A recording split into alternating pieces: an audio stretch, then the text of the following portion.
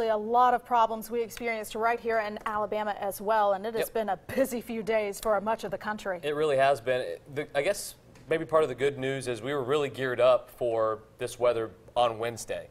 We weren't exactly prepared for it yesterday, but it really kind of unfolded in a time where a lot of people were inside homes for Christmas. So if it was any other Friday, yeah, if it was any other Friday, people trying to get home from, from work, this would have been much worse. Yeah. So that's at Yeah, least a little silver lining. No one was seriously hurt.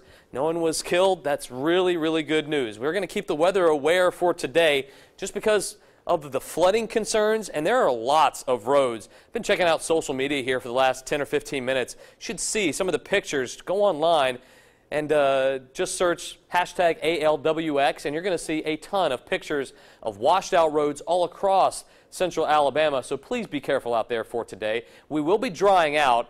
Things will be a lot calmer on storm track radar here for the rest of today and into tomorrow, but more storms on Monday, another active weather day anticipated to start our work week. And isn't this a nice sight? Sunrise just above the horizon.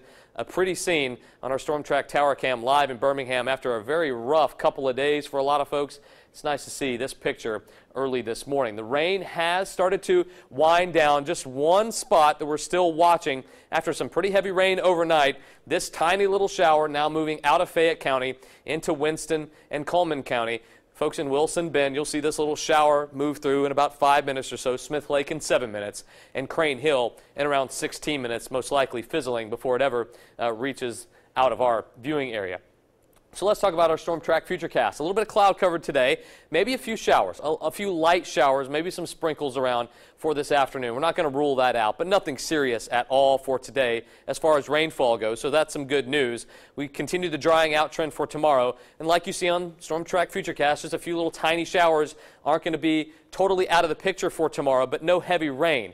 That all changes by Monday as another storm system moves through, another cold front. And this one's going to act just like the one did last week, where it moves through, kind of retrogrades, moves back to the north, and just sticks around for a while. And that's going to be the focus for more rain chances through the beginning and middle stages of next week. We call for more rain on Monday, a tiny little break on Tuesday. I think we still see some showers on Tuesday. But Wednesday, another round of some pretty heavy rainfall, especially the southeastern corner of our viewing area that picked up a ton of rain over the last 48 hours here. So we're going to be dealing with this flooding concern all the way through next week, unfortunately. But by the end of 2015, on Thursday, and the beginning of 2016 on Friday, things do look a lot drier and a lot colder. Temperatures not cold at all, numbers well into the 60s, and temperatures in the morning about 10 degrees above where we should be for afternoon highs.